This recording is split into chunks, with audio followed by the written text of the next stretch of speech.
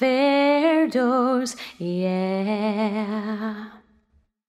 One happy birthday dot com.